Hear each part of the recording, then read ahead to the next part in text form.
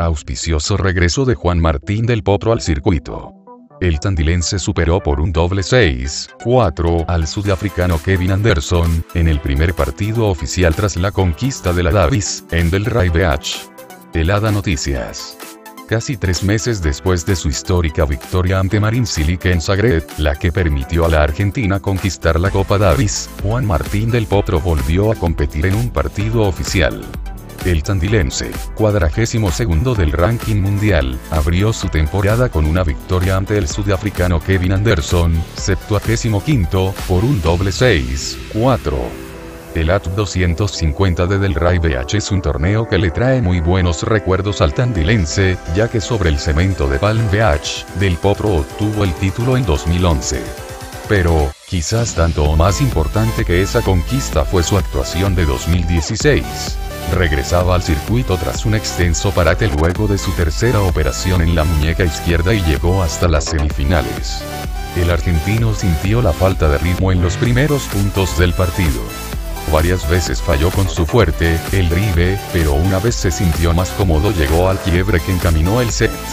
En el 3-3 del Po tuvo tres chances consecutivas, pero recién pudo quedarse con el saque del rival en el cuarto break, por un error no forzado del sudafricano. En el segundo, el tandilense aprovechó el primer punto de quiebre a favor estando 1-1. Con la ventaja, sostuvo su saque inexpugnable para quedarse con el partido.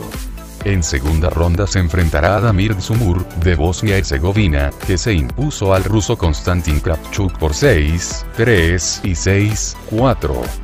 Realmente es un torneo muy bueno para ser el primero de la temporada. Me siento muy feliz de estar jugando aquí. Tengo grandes recuerdos de haber ganado el título en 2011 y es un recuerdo especial para mí haber llegado a las semifinales el año pasado, así que estoy esperando un buen torneo este año, dijo el argentino en la previa del certamen, donde, como en varias ciudades de los Estados Unidos, el público le demuestra su apoyo. Ese del Ray Beach del año pasado fue el prólogo de una temporada repleta de emociones, como las de los Juegos Olímpicos de Río de Janeiro, donde obtuvo la medalla plateada tras derrotar, entre otros, a Novak Djokovic y Rafael Nadal y la consagración en la Davis. En 2016 solo jugué 12 torneos y terminé en el top 40. El 2017 es un gran desafío porque si puedo jugar unos 20 torneos podría seguir ascendiendo. Me gustaría subir en el ranking y acercarme lo que más se pueda a los jugadores top, dijo Del Po en una entrevista concedida al sitio oficial de la app. Y agregó. Es un placer estar saludable, poder hacer lo que quiero, jugar donde quiero. Quiero seguir mejorando mi revés, estar sano durante toda la temporada. Del Po, está claro, llega con ambición y también con una preparación extensa, ya que al ausentarse en el abierto de Australia y en los primeros certámenes del año pudo trabajar en una adecuada base física. Esta pretemporada fue diferente a la anterior porque estuve saludable, sabía casi el 80% de mi calendario para el año.